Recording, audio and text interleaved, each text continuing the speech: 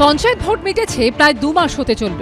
কিন্তু সেই ভোট গ্রহণ ও গণনাকে কেন্দ্র করে যে ভুরি ভুরি অভিযোগ উঠেছে, বহু ক্ষেত্রেই তা নিষ্পত্তি হয়নি এখনও এই প্রেক্ষাপটে হুগলির সিঙ্গুরের বেড়াবেড়ের তেরো নম্বর গ্রাম পঞ্চায়েতের ভোট বাতিলের সিদ্ধান্ত পুনর্বিবেচনার জন্য রাজ্য নির্বাচন কমিশনকে নির্দেশ দিল কলকাতা হাইকোর্ট। পাশাপাশি সিসি ক্যামেরার ফুটেজ দেখে বালি জগাছায় পুনর্নির্বাচনের আর্জি খারিজ করে দিলেন বিচারপতি অমৃতা সিনহা।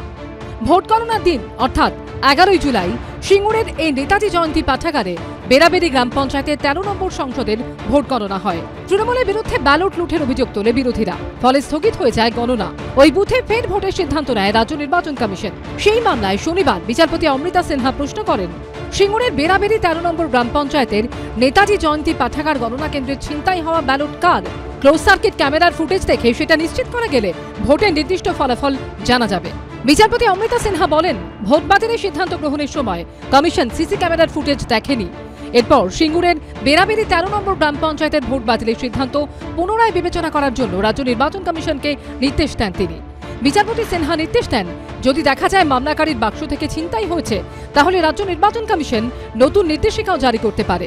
মহামান্য বিচারপতি অমৃতা সিনহা পুরো বিষয়টি, পুরো ভিডিওটি দেখার পরে তিনি স্যাটিসফাই হয়েছেন যে হ্যাঁ আমার যে বাক্স, যে বাক্সতে আমার ব্যালটটি রাখা ছিল, সেখান থেকেই টিএমসি প্রার্থী তিনি হেরে যাচ্ছিলেন বলে সেখান থেকে তিনি স্নাচ করে নিয়ে বাইরে ফেলে দিয়েছেন এবং তার ফলে আমি কিন্তু তিন ভোটে পিছিয়ে আছি।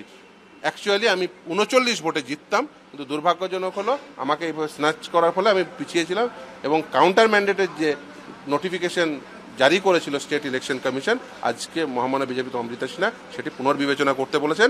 এই ভিডিওটি দেখার পরে।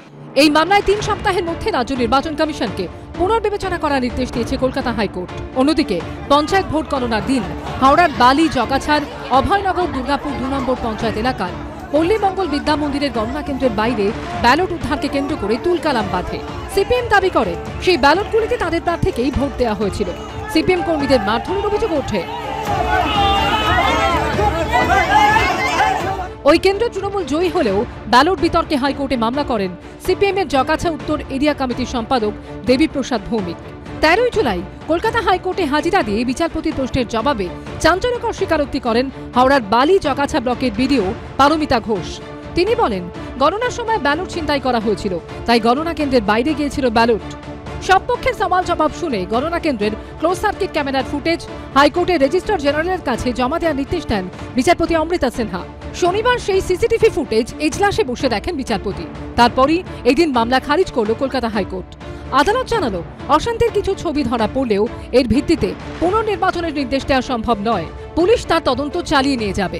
এদিন মামলাকারী আদালতে উপস্থিত না থাকায় অসন্তোষ প্রকাশ করেন বিচারপতি। সৌভিক মজুমদারের রিপোর্ট এবিপি আনন্দ, কলকাতা।